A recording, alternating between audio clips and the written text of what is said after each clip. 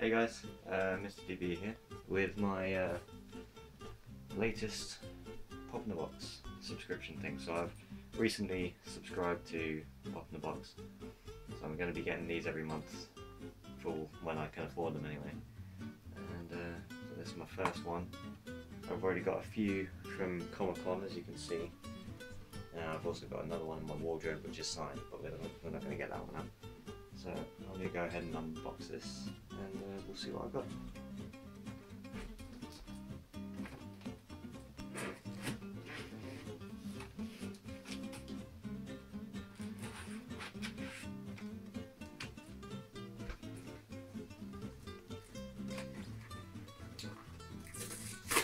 Are we ready to see what we got?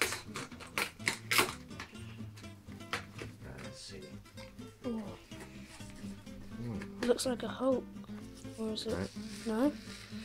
We've got A Poison, Poison Ivy, Ivy. from Batman Arkham Asylum. Well, not bad, not bad.